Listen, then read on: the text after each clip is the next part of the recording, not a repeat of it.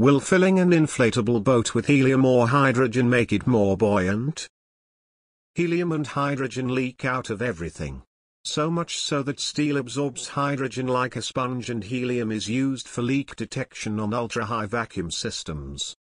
Moreover, hydrogen is explosive under a very wide range of circumstances. Technically, no I'll be the contentious one.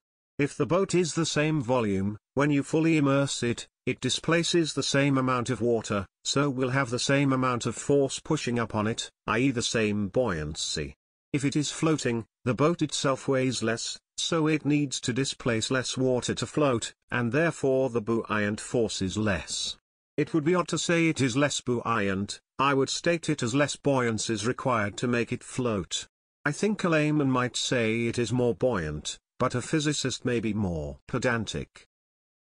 Side question which is kind of dumb but I really don't understand. If you had a metal enclosed object in water, how does the water know that there's air inside? Like the air is just interacting with the metal and the metal with the water. Is the air pushing the metal up? Basically how does density work? Barely. Buoyancy is a function of how much water is displaced with your example.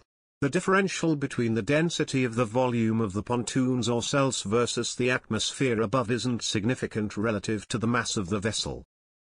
Yes, but not much. The fraction of the height of a floating object above water level is inversely proportional to its density compared to the water density. The lighter the object per unit of volume, the higher it'd be above the water.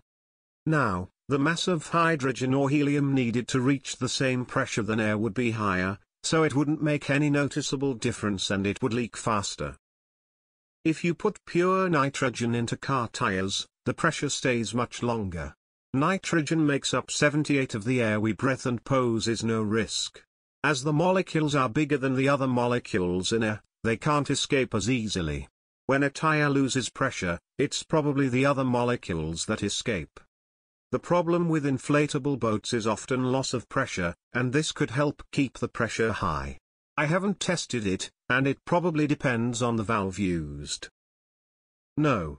Displacement is displacement. Flotation is a matter of the water displaced by the hull.